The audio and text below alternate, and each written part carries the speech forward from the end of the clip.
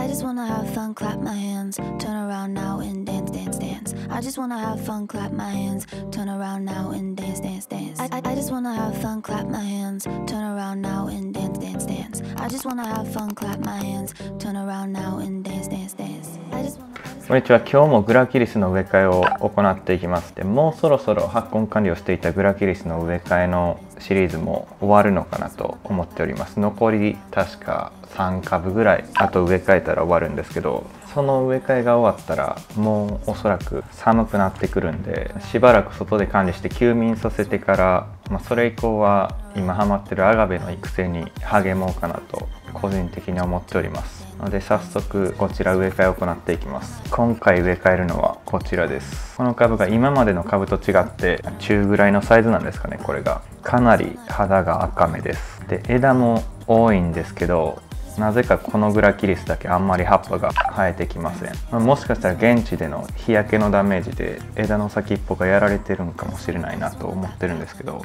しばらく管理しといたらまた回復して生えてくるのかなと思ってます。こいつ発根してからこのペットボトルの下の部分をカットしたのに植え付けて管理しております。で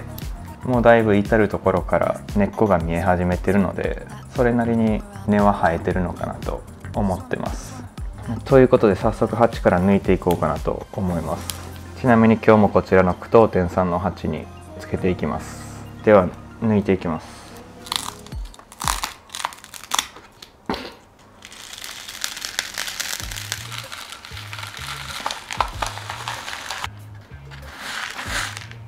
はいこんな感じで根が張っておりました。まあそこそこいい感じに成長してるんかなって思います。今回もちょっと土が湿ってたんで結構根が切れてしまってるんですけどこんだけ根が張ってたら大丈夫なのかなと思います。ということで鉢に植え付けていきます。今回も前回と同様にちゃんと永年を決めて植え付けていこうかなと思います。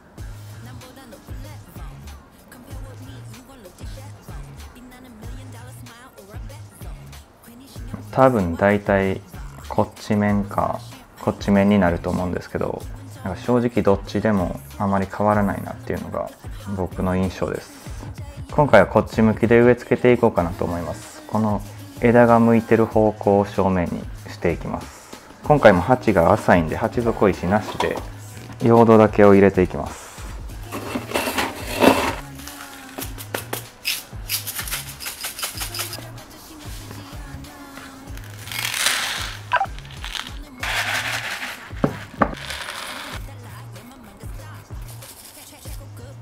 ちなみに僕は普段グラキリスはヤフオクで買うことが多いんですけどこのグラキリスは、えーウェブのショップさんで購入しました。もともとこんなにグラキリスを買うつもりはなかったんですけどちょっとこの夏グラキリスの発根管理にはまってしまいましてあの発根する喜びに取りつかれてしまってついつい大量に購入してしまいました。その結果あの植物を置くスペースがなくなってしまってこれから、まあ、冬になったらグラキリスを室内に取り込まないといけなくなるんですけどそのスペースがない問題に今悩まされております。ちょっと難しいですね。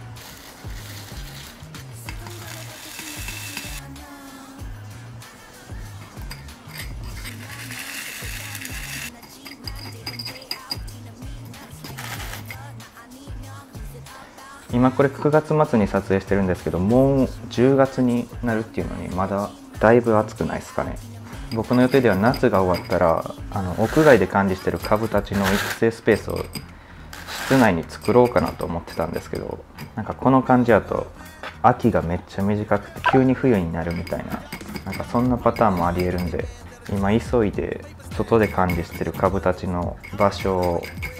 室内に準備しております。でも棚のスペースがなくなってしまったんであの妻にめちゃめちゃお願いして新しく棚を増設させてもらうことになりました、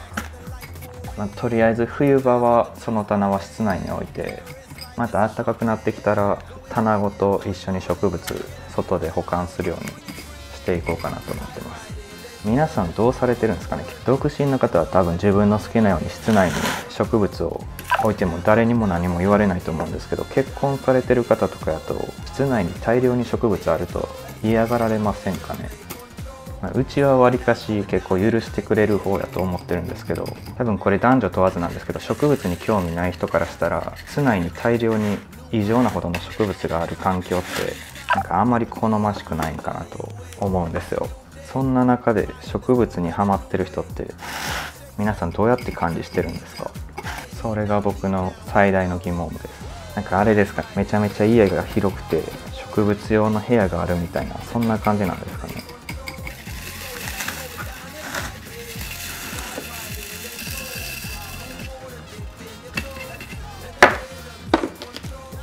はいということで今回こんな感じで仕上がりました。画面越しじゃこいつの赤さがあんまり伝わらないんでちょっと霧吹きかけてみます。今霧吹きで水かけてみたんですけど分かりますかねこの色。あんまか あんま分からないですね。比較できるグラキリス持ってきましょうか。こちらあの前回植え替えたグラキリスなんですけどこれを比較したら多分こっちの赤さが伝わるんかなと思います、まあ、こんな感じでこのグラキリスはこの赤さに惹かれて僕は購入しました。ということでこちらのグラキリスはまあ、植え替え直後なんでしばらくは室内で管理して根が安定してきて外ももう少し涼しくなってきたら外管理に移行しようかなと思います。ご視聴いただきありがとうございました。よかったらあのチャンネル登録とか高評価お願いいたします。ではありがとうございます。